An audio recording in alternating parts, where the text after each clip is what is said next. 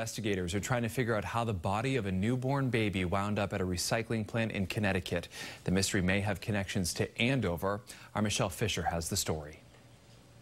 Police in Stamford, where that baby's body was found, say that preliminary autopsy results today should determine how the child died. But the question is where the baby's body originated from.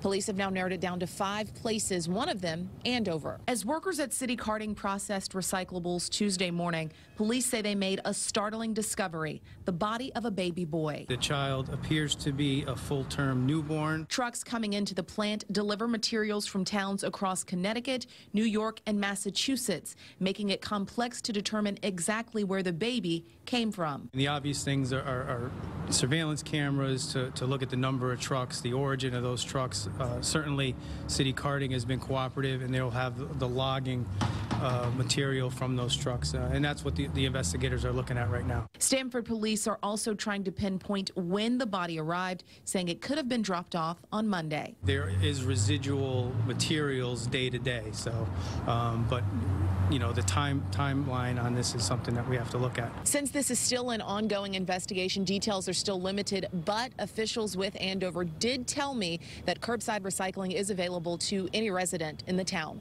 Reporting in Andover, Michelle Fisher, WBZ News.